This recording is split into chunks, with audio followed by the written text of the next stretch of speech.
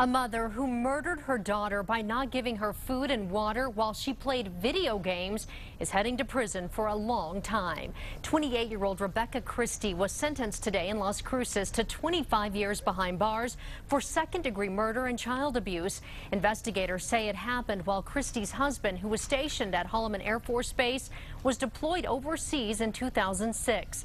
They say she spent 11 days playing World of Warcraft at their home on the base while ignoring her three-year-old daughter. The child died shortly afterward of dehydration and malnourishment.